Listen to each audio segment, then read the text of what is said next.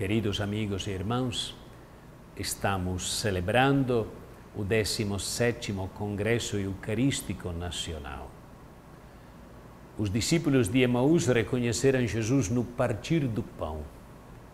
E logo depois deste encontro, correram às pressas até Jerusalém para comunicar a experiência extraordinária que eles tinham feito. Gostaria neste nosso programa de refletir sobre a relação que existe entre Eucaristia e missão. Um dos nomes dados à celebração eucarística antigamente e ainda hoje é de missa, porque a liturgia na qual se realizou o mistério da salvação termina com o envio, a missio, a missão, o envio dos fiéis para que cumpram a vontade de Deus na sua vida cotidiana.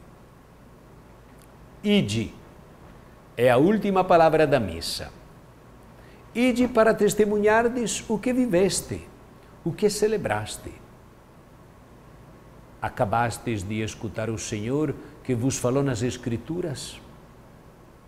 acabastes de comer e beber com ele e o reconheceste ao partir o pão? Agora deveis levantar-vos e ir adiante, testemunhando que o Senhor está vivo, que Ele caminha conosco. Eis o sentido do termo missa. A missa termina com o envio à missão de testemunhar o Cristo com nossa palavra e com nossa vida. O querido Papa Emérito Bento XVI, refletindo sobre a relação entre Eucaristia e missão, dizia: Não há nada de mais belo do que ser alcançado, surpreendido pelo Evangelho por Cristo. Não há nada de mais belo do que conhecê-lo e comunicar aos outros a amizade com ele esta afirmação cresce de intensidade quando nós pensamos no mistério eucarístico. Com efeito, nós não podemos reservar para nós o amor que celebramos neste sacramento. Por sua natureza, pede para ser comunicado a todos. Aquilo de que o mundo tem necessidade é do amor de Deus, é de encontrar Cristo e acreditar nele. Por isso, a Eucaristia é fonte e ápice não só da vida da Igreja, mas também da sua missão. Uma igreja autenticamente eucarística é uma igreja missionária. Havemos também nós de poder dizer com convicção aos nossos irmãos: Nós vos anunciamos o que vimos e ouvimos para que estejais também em comunhão conosco. Certamente não há nada de mais belo do que encontrar e comunicar Cristo a todos. Aliás, a própria instituição da Eucaristia antecipa aquilo que constitui o cerne da missão de Jesus. Ele é o enviado do Pai para a redenção do mundo. Na última ceia, Jesus entrega aos seus discípulos o sacramento que atualiza o sacrifício que ele, em obediência ao Pai, fez de si mesmo pela salvação de todos nós. E nós não podemos abeirar-nos da mesa eucarística sem nos deixarmos arrastar pelo movimento da missão que, partindo do próprio coração de Deus, visa atingir todos os homens. Assim, a tensão missionária é parte constitutiva da forma eucarística da existência cristã.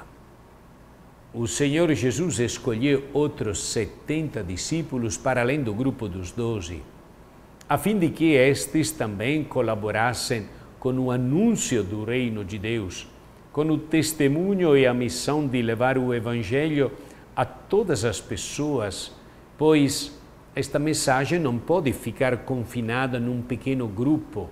O número dos missionários precisa ser ampliado sempre mais.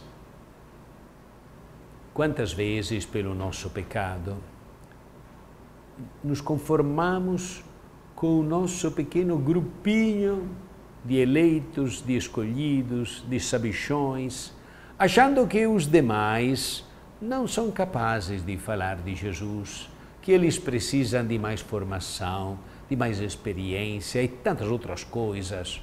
O que nós mesmos não somos capazes de falar de Jesus aos irmãos e irmãs. Quantas vezes não matamos o impulso missionário de nossos irmãos e irmãs que, a partir do encontro pessoal com Jesus e com a Eucaristia, quiseram pôr em prática a chamada de Jesus para se tornarem discípulos e missionários. O Papa Francisco, na sua carta Alegria do Evangelho, diz o seguinte: em todos os batizados, desde o primeiro até o último, atua a força santificadora do Espírito que impele a evangelizar. Em virtude do batismo recebido, cada membro do povo de Deus tornou-se discípulo missionário. Cada um dos batizados, independentemente da própria função na igreja ou do grau de instrução da sua fé, é um sujeito ativo de evangelização. E seria inapropriado, diz o Papa, pensar que num esquema de evangelização realizado por agentes qualificados, enquanto o resto do povo fiel seria apenas receptor das suas ações. A nova evangelização deve implicar um novo protagonismo de cada um dos batizados. E esta convicção transforma-se num apelo dirigido a cada cristão, para que ninguém renuncie ao seu compromisso de evangelização.